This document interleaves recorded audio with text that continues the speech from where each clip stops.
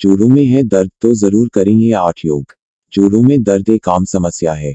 उम्र बढ़ने के साथ यह समस्या और भी बढ़ जाती है, लेकिन यदि आप शुरू से ही कुछ योग करते हैं तो आपको जोड़ों के दर्द से राहत मिलेगी। आइए उन्हीं योगों के बारे में जानते हैं।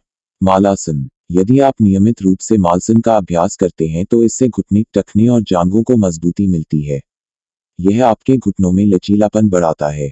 यह मेटाबॉलिज्म को उत्तेजित करता है तथा पाचन तंत्र को सक्रिय करता है। इसके अलावा मालासन मुद्रा में सुधार करता है। धनुरासन, यह आसान मुख्य रूप से बंद कंधों को खोलता है। साथ ही साथ पीठ को लचीला बनाने में काम आता है। धनुरासन करने से शरीर से तनाव व जड़कन को दूर किया जा सकता है। इसे आप थोड़ी सरलता से भी कर सकते हैं। गरुसन का नाम पक्षियों के राजा गरुड़ के नाम पर रखा गया है, जो हिंदू पौराणिक कथाओं में भगवान विष्णु का वाहन भी हैं। गरुड़ासन आपके पैरों को शिथिल करता है और उन्हें लचीला बनाता है। मुद्रा आपके पिंडली को मज़बूत करती है और जांघों को फैलाता है। यह न्यूरोमस्कुलर समन्वय में भी सुधार करता है। आप खाली पेट गरुड़ासन का अभ्यास करें। आपको ज़रूर फ़ायदा मिलेगा। वीरभद्रासन, यह आसन घुटनों को सुदृढ़ बनाने का काम करता है। इसके अलावा जकड़े हुए कंधों को सक्रिय करने में भी सहायक रहता है। वीरभद्रासन कंधों से तनाव को कम करके आपकी शरीर को संतुलन प्रदान करने का काम करता है, इस प्रकार से जोड़ों के दर्द यह आसान निजात दिलाता है। विरासन आपके पैरों में ब्लड सर्कुलेशन को बढ़ाता है और जांघों और घुटनों को फैलाता है। यह योग आपके शरीर की मुद्रा में सुधार करता है तथा पैरों में थकावट को दूर करता है। सेतु बंध आसन घुटनों की मांसपेशियों को मज़बूत करना है तो सेतु बंध आसन करना चाहिए।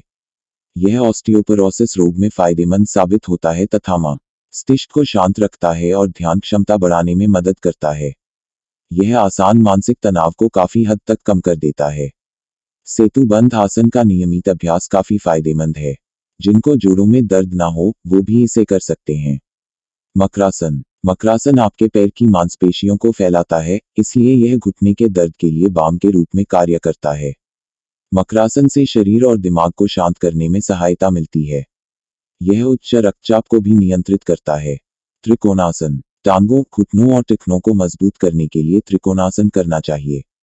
यह योगासन साइटिका और कमर दर्द में भी राहत प्रदान करता है। इसके अलावा इस आसन के नियमित अभ्यास से घुटनों की नस, कमर, जंघा की संधि और नितंब में तनाव पैदा होता है। इस तनाव से शरीर के इन अंगों को गतिशीलता मिलती है। हमारे द्वारा दी गई जानकारी को पहले करके देखें, उसके बाद अगर आपको हमारा ये तरीका पसंद आए तो हमें कमेंट द्वारा ज़रूर बताएँ और हमारे चैनल को वह अगली वीडियो देखने के लिए अभी सब्सक्राइब करें हाशमी डॉट कॉम चैनल और हाँ बेल आइकॉन ज़रूर दबाएँ ताकि आप हाशमी डॉट कॉम की हेल्थ संबंधी जानकारियों की वीडियो सबसे पहले देख पाएँ।